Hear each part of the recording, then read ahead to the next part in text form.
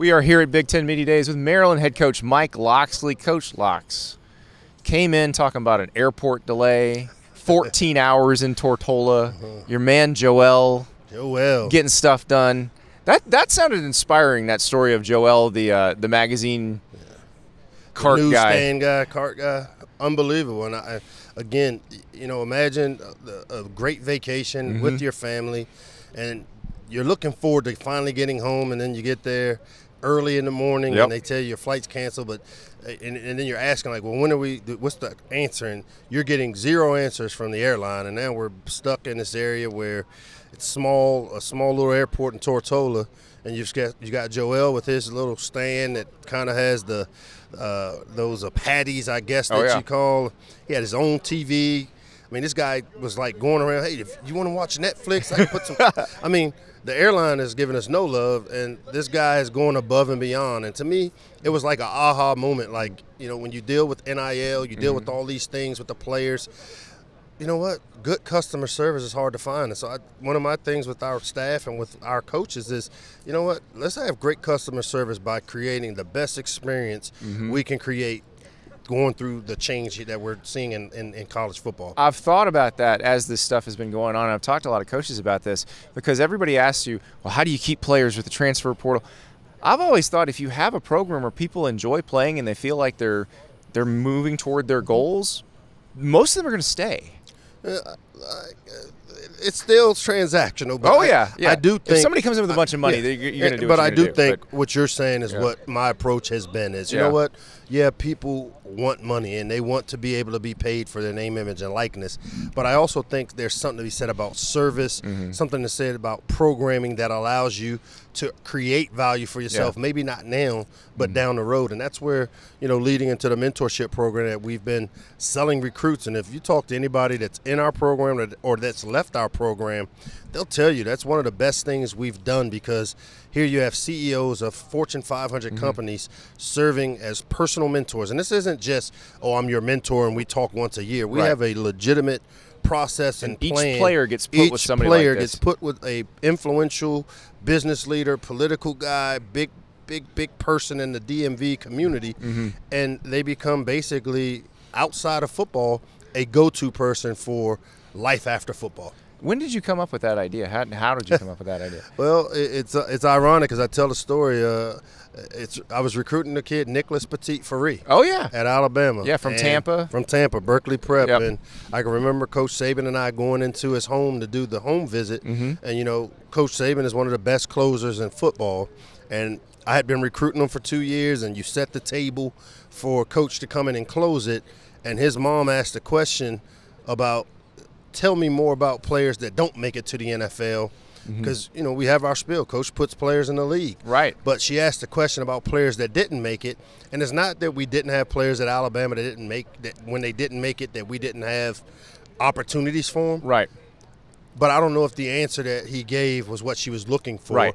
And I took a mental note that if I ever get a chance to run a program again, when they ask me about a pl- players that don't make it to the NFL, I want to be able to say, hey, you know, I've got a guy that's uh, Namdie Bouabois, that's an upper level manager at Pepsi Yeah. and the reason he is is because his mentor Craig Kushner, who ran the largest vending company in the USA, um, Monumental Foods, had connections at Pepsi that were made based on the relationship that those two created along their And that's time. and that's what the parents want to hear. And Yeah. Nick went to Ohio State, mm-hmm. where they had a, a life after football program Right. they had installed years earlier. So No it's interesting how it. that works. Well, speaking of offensive line, you had a couple offensive linemen drafted last year.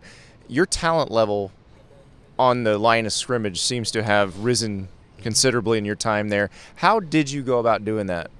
we got older. You know, those three guys that two guys that got drafted and the third that we brought in, Jahari Branch, Jaelyn Duncan, Spencer Anderson, those guys were four year, three year starters for us.